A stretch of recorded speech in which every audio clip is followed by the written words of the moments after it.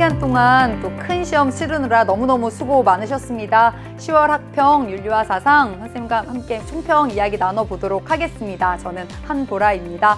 자, 이번 시험 친구들 어땠나요?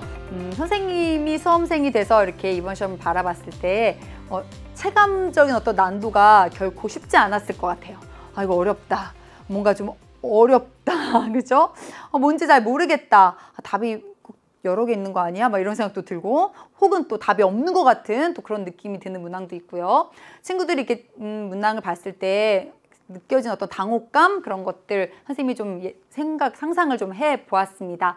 왜 이렇게 시험이 조금 낯설게 느껴졌을까? 아마 바로 직전에 봤던 시험과 이렇게 대비해서 조금 더 체감 난도가 높게 올라갔지 않았을까 싶어요. 선생님이 이번 시험을 전체적으로 좀 간략하게 좀 생각해 본다면 시험 자체가 그렇게 어렵지는 않았습니다. 선생님 지금 1년 내내 계속 이런 얘기를 해서 좀 미안하긴 하지만 이렇게 올해 이렇게 여러 번 치러졌던 학평 또 모평 아주 어렵다. 정말 이게 정말 윤사다. 찐 윤사. 윤사가 어려우면 이 정도까지 어려워질 수 있지. 뜨거운 윤사.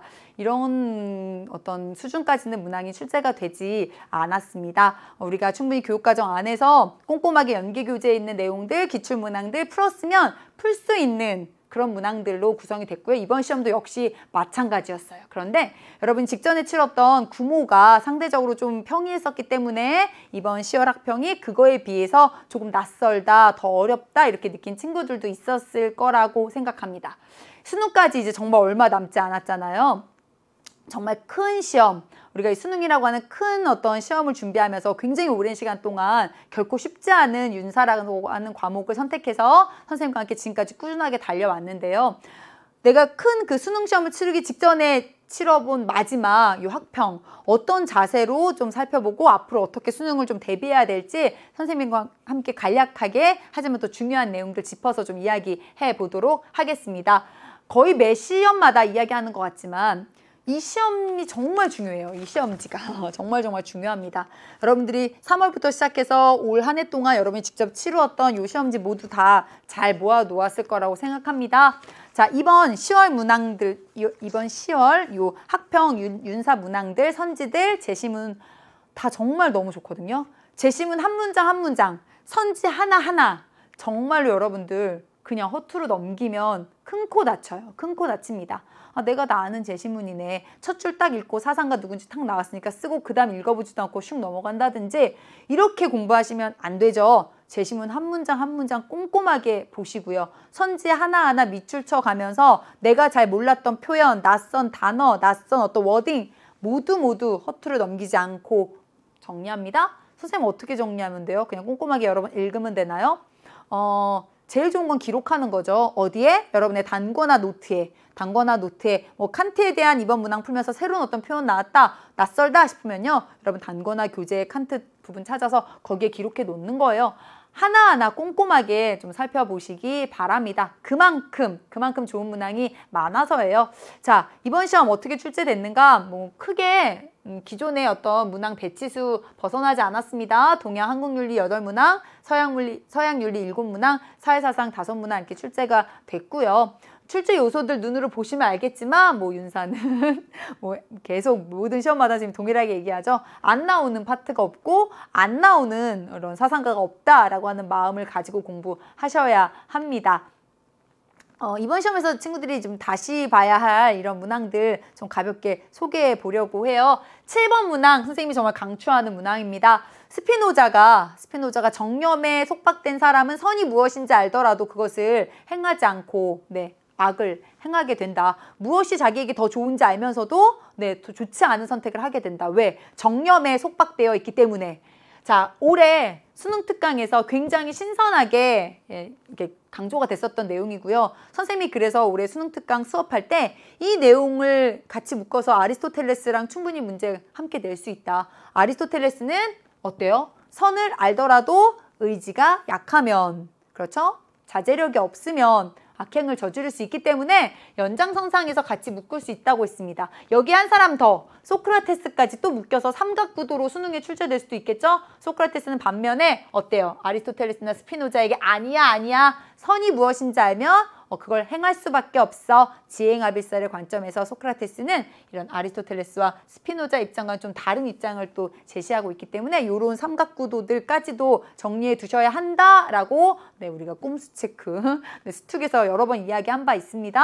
자, 아리스토텔레스와 스피노자 아주 아주 신선한 재미있는 조합인데요. 역시 우리가 주목해야 할 최신의 어떤 경향을 잘 반영하고 있는 그런 조합이고 문항 구성이었기 때문에 꼼꼼하게 이 문항을 맞췄든 틀렸든 그게 중요한 게 아니라 네, 이 문항을 철저하게 분석하시기 바랍니다.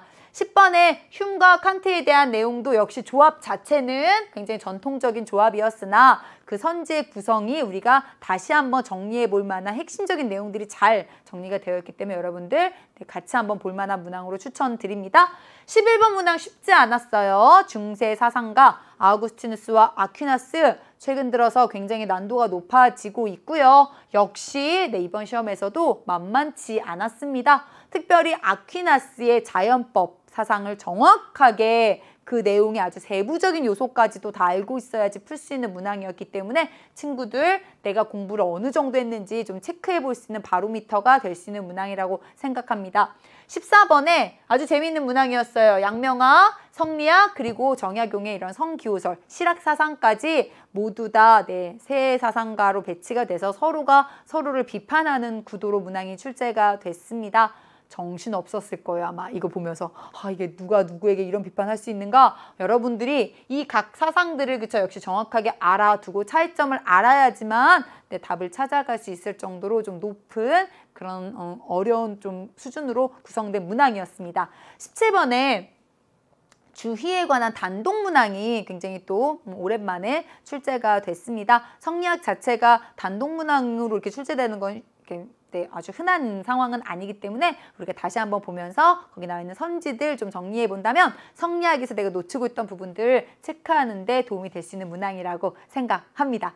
자, 우리 이제 정말 얼마 남지 않았습니다. 우리가 그럼 이 얼마 남지 않은 기간 동안 무엇을 해야 할까? 제일 여러분들이 음, 궁금해하는 부분일 것 같아요. 선생님이 구모 때도 굉장히 총평 때 막 긴 잔소리를 막 이렇게 엄마의 마음으로 막 쏠라쏠라 여러분들하고 이렇게 나눴던 이야기가 떠오르는데 크게 달라지지 않았겠죠? 절대로 수완을 소홀히 여기지 마세요.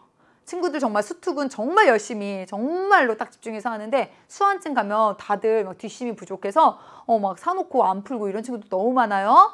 수완 정말 정말 주옥 같은 문항들이 많고요. 정말 오히려 수특보다도 문항 자체에 보다 더 지필진들이 공을 들인 그런 문항들이 많이 실려 있습니다. 수완 끝까지 소홀히 여기지 말고요. 시간 늦었다고 핑계대지 마세요. 윤사 어렵지 않습니다. 배속 조절해서 수완 같이 강의 들으면요. 짧은 기간 1, 2주에도 네 여러분 완성할 수 있습니다. 수완 소홀히 여기지 말고 반드시 완강하시기 바랍니다.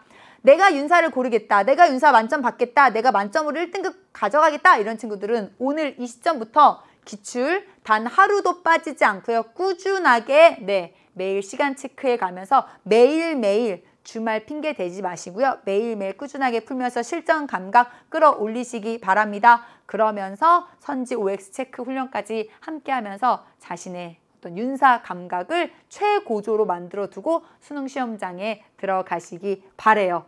음, 만점 우리가 큰 꿈을 가지고 있지만 사실 우리의 꿈은 더 컸죠? 만점을 뛰어넘는 여러분의 꿈을 생각하시면서 나비가 돼서 훨훨 날아오르는 자신의 모습을 생각하면서요. 점수에 연연하고 집착하는 게 아니라 배워가는 그 과정에서 이미 나는 인사를 통해서 너무 많이 성장했어. 그 기쁨을 누리면서 끝까지 한번 달려가 보시기 바랍니다. 만점을 넘어 꿈을 향해 달려가는 여러분을 응원하면서 우리 1번 문항에서 같이 만나도록 할게요.